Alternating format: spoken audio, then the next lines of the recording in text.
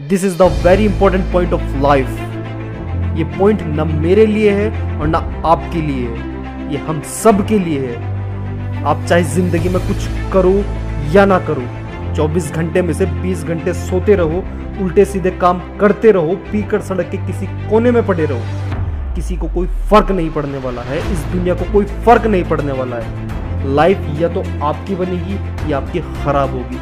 अपनी ज़िंदगी की रिस्पॉन्सिबिलिटी लेना सीखिए।